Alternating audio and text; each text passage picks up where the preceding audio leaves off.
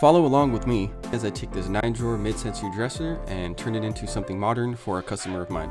I remove all the drawers and drawer handles because I'm going to sand everything down to bare wood with 150 grit sandpaper. I'm going to remove the base because it's going to make it a lot easier for me to paint. And when doing so, I found some loose joints in it, so I added some wood glue and reattached all of those. I scuff sand any surface that I'm going to paint with 150 grit sandpaper and use wood filler on any damage. I'm using my favorite stain, it is dark walnut, to stain everything that is bare wood. And some of the spots that I did sand down to bare wood that I'm gonna paint, I use a primer. I'm using a charcoal gray, it's called wrought iron. It's a cabinet coat enamel paint, so you don't need a top coat. I'm gonna put all the drawer handles back on, reattach the base, put all the drawers back, and this is the final look. Let me know what you think. I am super happy with this one and the customer was just as happy.